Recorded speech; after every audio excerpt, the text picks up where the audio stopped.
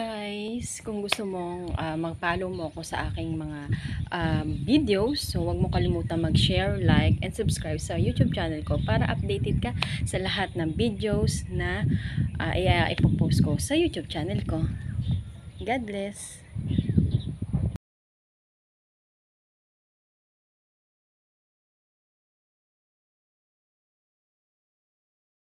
Hi guys, so ngayon ituturo ko sa inyo kung paano po i-assemble kung bumili kayo ng ganito, Kitchen Expert, the grinder para po makaluto tayo ng mga lalo na ngayong Pasko. So, nabili ko siya sa Shopee and uh, the amount of 390.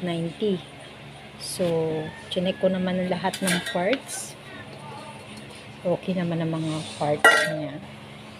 Complete naman siya. So, let's go. Gawin na natin kung paano assemblein ito. Gawin is, i-screw muna natin to. So, kuha kayo ng uh, screw. I-set up nyo to dito. Dahan-dahan, ingat kasi medyo matalas siya. So, gamitan natin siya ng screw.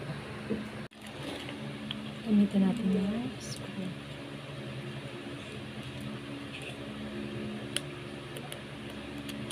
Lahat ng dapat 2, 4, 6, 8, 8 yung kanyang makikita na ganito. Yan. So, dito natin ilalagay sa setup natin. Screw.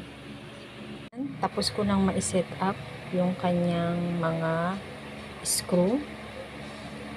So, pwede mo naman yan tanggalin yung mga itim na yan pwede mo siyang tanggalin. Dahan-dahan lang kasi napakatalas niya in furnace. Kaya ingat lang, ingat tayo. Ingat tayo sa pagtatanggal. Okay? Natatanggal po yan. Next, ang gagawin natin, second step is, itong boto na to, itong screw na to, ilalagay natin sa ilalim. Ganyan po siya.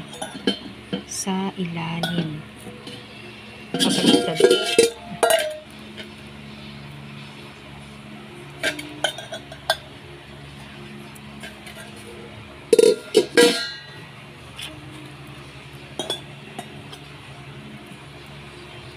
natin siya. Tatanggalin natin siya para dumikit. Ito. Pinagiwalay ko sila kasi parang ang laki niya, no? So, natatanggal po yan, nahihiwalay. So, itong boto na itong maliit na to, na matitira, is dito po natin ilalagay sa likod. Ganyan po siya. Yan, sa likod. So, babalik rin po natin siya Babatuhan natin siya. Tapos doon natin i-screw. Um, blade niya.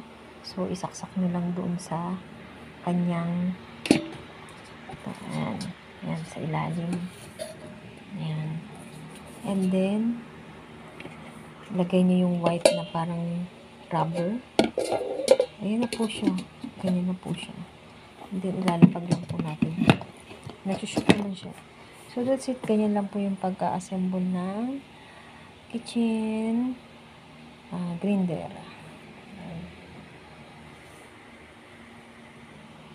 Like a Hellcat.